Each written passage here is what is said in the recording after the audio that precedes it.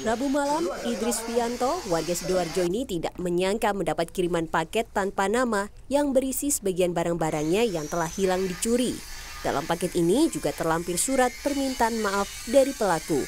Pelaku terpaksa mencuri karena terlilit utang pinjaman online yang sudah jatuh tempo. Tanya dulu, itu paket apa mas? Paket laptop. Saya merasa nggak order itu. Saya tahan dulu driver gojeknya, saya buka ternyata barang yang dicuri tadi. Kecuali perhiasan yang emas yang berharga yang sudah ada suratnya. Hmm. Kemudian di dalamnya sudah ada surat itu tadi, hmm. permintaan maaf itu tadi. Dan ternyata orangnya tahu saya. Aksi pencurian di rumah Idris sebelumnya terekam CCTV. Saat itu kondisi rumah Idris sedang sepi sehingga pelaku leluasa mengambil barang-barang berharga. Diduga pelaku masuk melalui atap rumah bagian belakang.